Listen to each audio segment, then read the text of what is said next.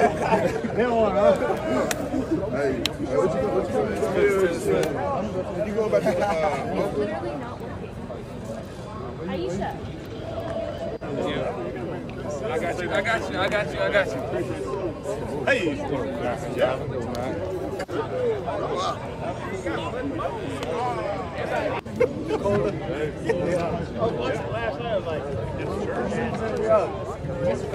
Smooth into.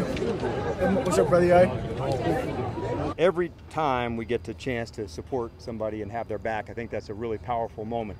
It's powerful in a locker room and it's powerful in a community, and it's our way of showing that support for you know men and women and children and families that uh, have had to go things that no one ever wants to go through. And so for us as a team, just to know, hey man, we got your back.